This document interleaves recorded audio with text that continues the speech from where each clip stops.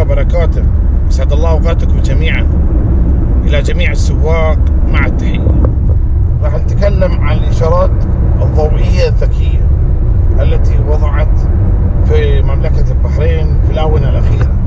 وقد ساهمت هذه الاشارات الضوئية في الحد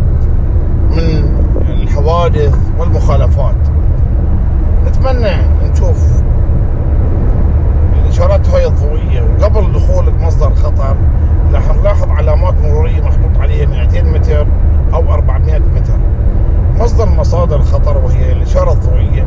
عندما توصل إلى الإشارة الضوئية أو الاقتراب منها تقطع آه، دواسة البنزين أو منظم السرعة ودخولك مصدر خطر بطيء والخروج منه سريع.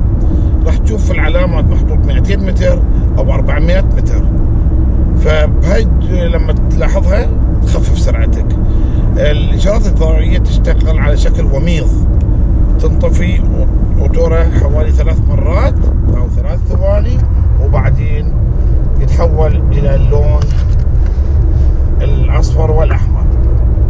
أتمنى السلام لكم وحبيت أشكر من هالمنبر من هالقناه وزارة الأشغال الإدارة العامة للمرور تحياتي لكم.